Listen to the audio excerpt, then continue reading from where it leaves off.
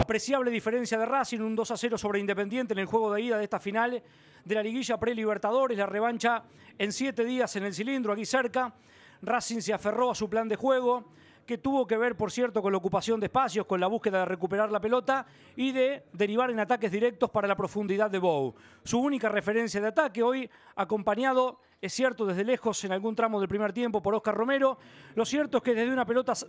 en salida de Saja, peinada por Romero,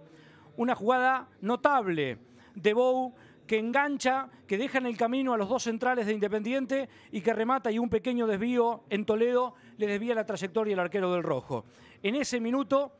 ya Racing consigue deshacerlo al partido, porque tres minutos después llega el gol de Romero. Romero estaba lesionado, tenía un esguince de tobillo, le pide a Coca que lo aguante un tiempo más y en una pelota detenida en la salida no aguantó la pelota independiente, buen anticipo ofensivo de Marcos Acuña, otro de buena tarea en la academia y el remate cruzado a colocar potente de Oscar Romero. Ese 2 a 0 y esos tres minutos fatales para Independiente